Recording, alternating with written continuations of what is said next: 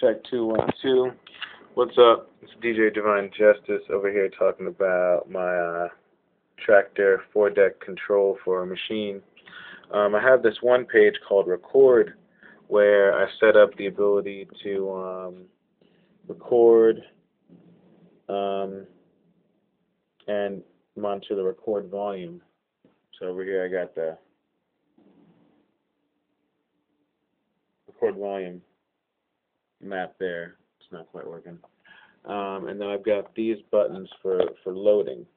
So what I notice is that if I if I have a loop playing on B and I record it and I get the timing right and then load it to deck A, it'll play it as a loop. If you've seen the new controller, the S4, um, that's what they're they're doing.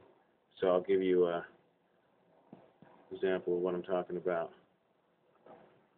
I'll let this beat play and then I'll press the record on beat and then load it to deck A. And then you'll see that loop playing over here. Go to the other track.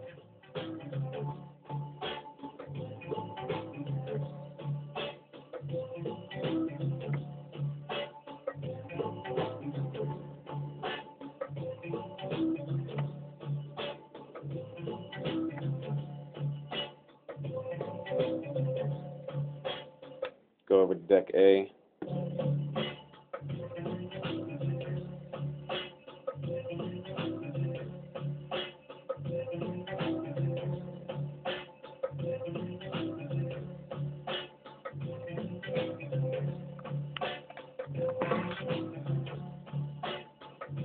Yeah, that loop's a little bit off, but you get the point. That's how to uh, immediately record and play back your loops.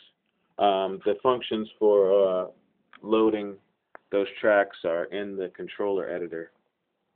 Um, so that as soon as you record something, you can immediately um, map it to a deck. That would be in um, recording. After you go to um, add in, you go down to recording. And that last one is load last recording. And so I just did that one four times and assigned uh, it to each deck.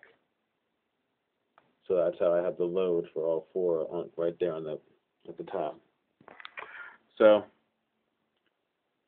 hope that helps you uh, record and make some fresh loops. DJ Divine Justice signing off. Practice and enjoy.